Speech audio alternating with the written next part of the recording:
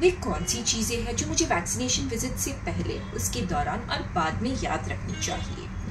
कृपया अपने बच्चे के टीकाकरण का रिकॉर्ड अपने साथ ले जाइए। डॉक्टर को बताए कि उन्हें टीकाकरण के बाद पास्ट में कई समस्या हुई थी या आपके बच्चे को कोई एलर्जी है।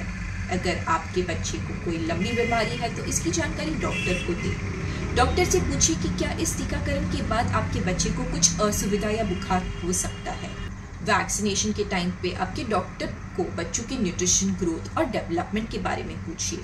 टीकाकरण के बाद आपका डॉक्टर आपको 30 मिनट्स तक प्रतीक्षा करने के लिए कह सकता है या किसी भी इमीडिएट रिएक्शन के लिए बच्चे को ऑब्ज़र्व करने के लिए है।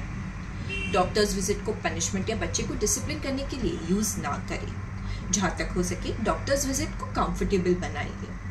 लोकल रिएक्शंस जैसे कि इंजेक्शन साइट पर रेडनेस हल्का बुखार और इंजेक्शन साइट पर दर्द हो सकता है, जो आमतौर पर कम समय तक रहता है।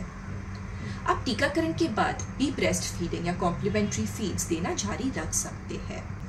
कृपया अपने डॉक्टर से संपर्क करें। यदि आपके बच्चे को टीकाकरण के बाद तेज बुखार, आपका शिशु अनरिस्पॉन्सिव या लिम्प हो जाता है वो रेयर रहता है या लगातार तीन घंटे से अधिक रोता है या आपके शिशु को फिट्स आ रहे हो।